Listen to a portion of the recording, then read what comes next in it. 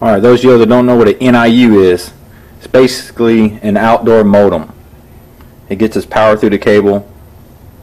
They're discontinued, so you won't see too many of them out there, but you'll run across them every now and then. This side is the side you'll be in. This side you don't get in it. It's where the power and stuff is.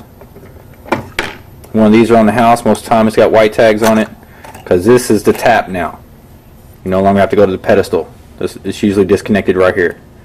But for some reason you got something wrong with the signal. Something's wrong.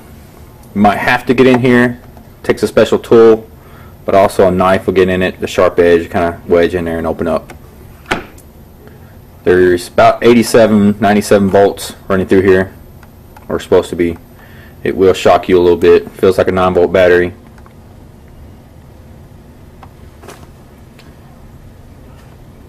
And if it's active, the light will be on. If it has one blink, it means it has phone service coming out of it. If it has two blinks, there's no phone service coming out of it. And if it's three blinks, it's not even sunk up to the system. If it's not blinking at all, there's something wrong the drop. There's no power going through it. This thing is not getting power. It's pretty much an NIU.